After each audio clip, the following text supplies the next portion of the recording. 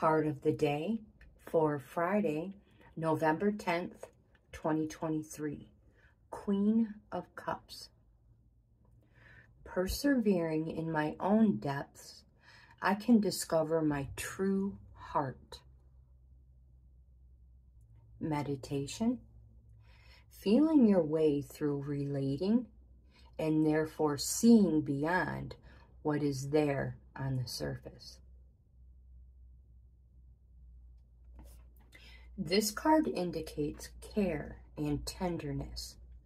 It is not a time to overextend yourself, but rather to take a rest and recuperate. It is a card of vacation and a new environment.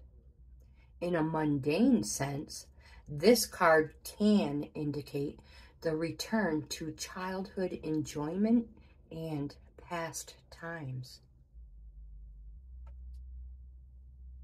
The Queen of Cups says, follow your heart and intuition. You cannot go wrong. Tune into the feelings of others and respond accordingly.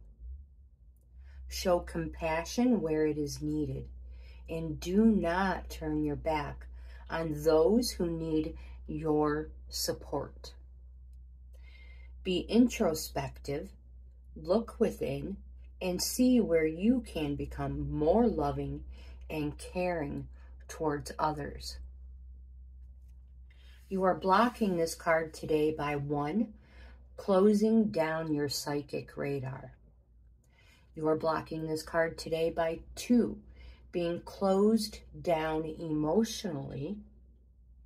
You are blocking this card today by three, being aloof.